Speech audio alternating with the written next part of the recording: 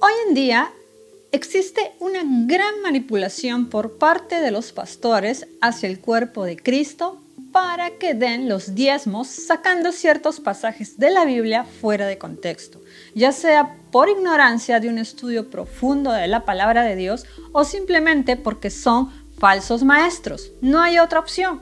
Estuve visitando algunas páginas de internet de algunas iglesias muy reconocidas y grandes para ver qué dicen con respecto al tema de dar y de las finanzas. Y desafortunadamente me encontré con esto. Si quieres verlo, no te vayas.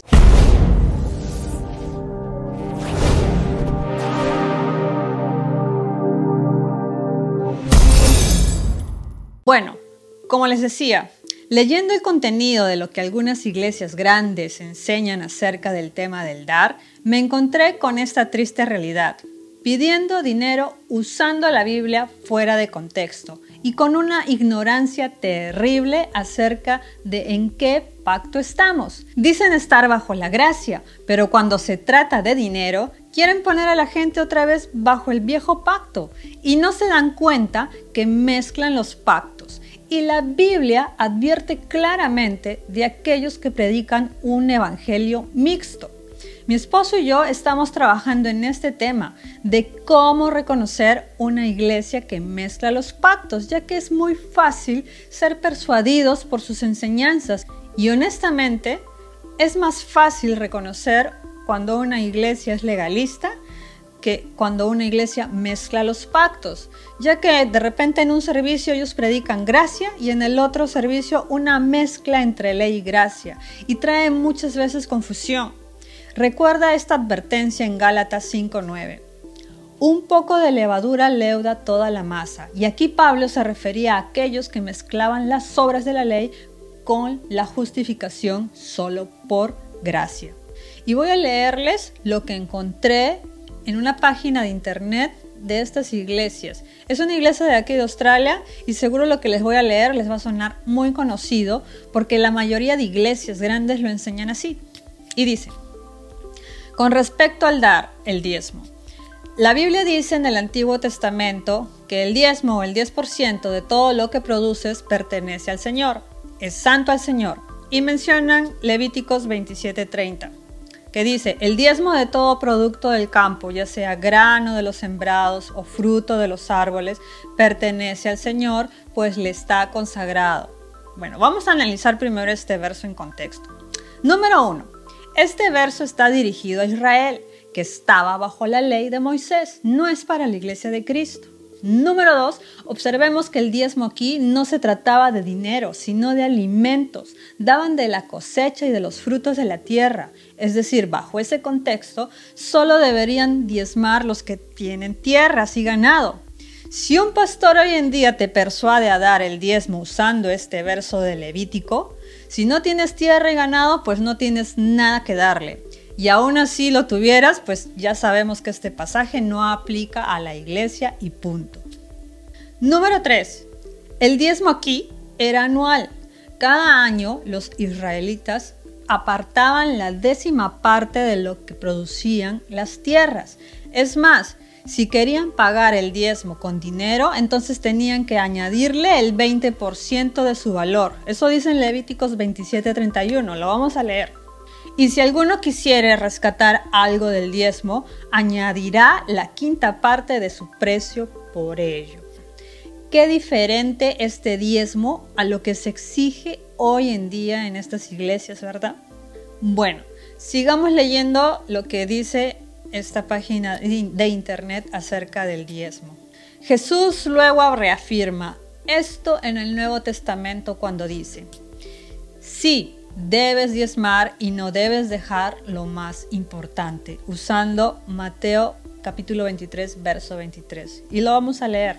Hay de vosotros escribas y fariseos, hipócritas, porque diezmáis la menta y el eneldo y el comino, y dejáis lo más importante de la ley, la justicia, la misericordia y la fe. Expliquemos este verso en contexto. Número uno, aquí el Señor está hablando a los fariseos. Ellos pagaban sus diezmos, pero habían olvidado lo más importante de la ley. Eran hipócritas La frase lo más importante de la ley hace una comparación entre lo menos importante de la ley y lo más importante de la ley. Diezmar era algo menos importante de la ley, pero justicia, misericordia y fe eran cosas más importantes de la ley que el diezmo. Esto no es una comparación entre cosas generales, sino sobre cosas de la ley. Y el diezmo estaba clasificado por el mismo Señor Jesús como una cosa de la ley. Y eso es lo que es. Es parte de la ley que fue dada a los judíos. Número dos. ¿Por qué Jesús dijo que no dejen de hacerlo? Por la sencilla razón de que Jesús aún estaba bajo la ley. Acuérdate que el nuevo pacto empezó con la muerte y resurrección de Jesús. Y esa es la clave para entender el contexto de las escrituras, dividir bien los pactos y saber en cuál nosotros estamos. Sigamos leyendo, aunque sinceramente ya me está dando hasta dolor de estómago leer todo esto. Bueno, dice, Confiar en el Señor dándole a Él desde todas las áreas de nuestras vidas, especialmente áreas desafiantes como nuestro tiempo, tesoro y talento. Nos ayuda en nuestra relación con Él al romper cualquier fortaleza egoísta en esas áreas. Nuestra relación con Dios es fortalecida solamente cuando confiamos en el sacrificio de Jesús en la cruz, cuando ponemos la obra de la cruz por encima de cualquier obra humana, obras de autojusticia, lo que la Biblia llama obras muertas. No hay nada más que podamos hacer para obtener su gracia y favor, y es solo la verdad la que nos hará romper fortalezas en nuestras vidas y nos hará libres.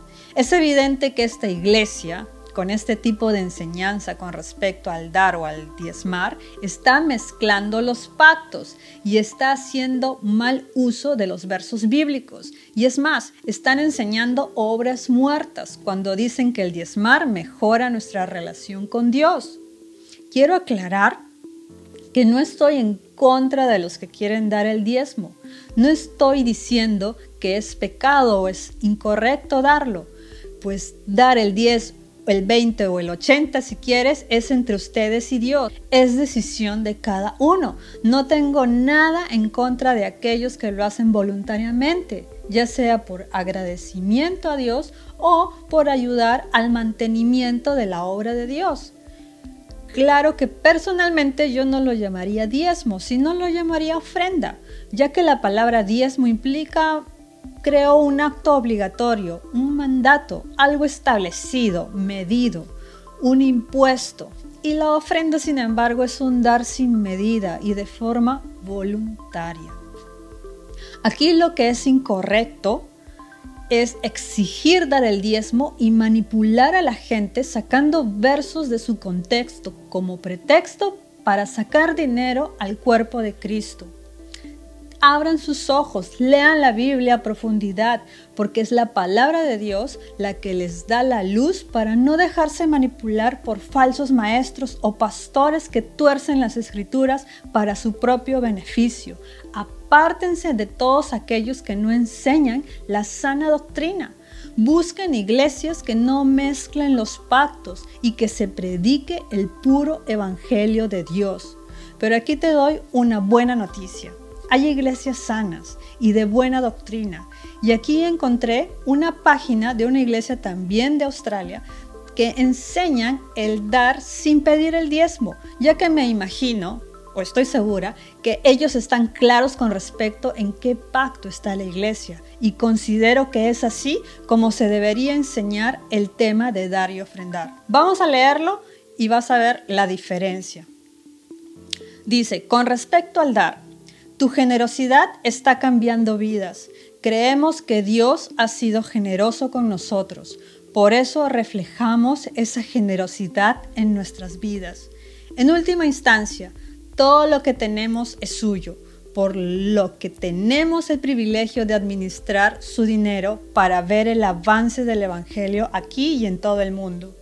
A la luz de cuánto hemos recibido ricamente en Cristo, Creemos que dar regularmente y generosamente es parte de nuestra adoración a Dios. no estamos dando para obtener algo de Dios, ni estamos dando para marcar la casilla y cumplir con un deber religioso.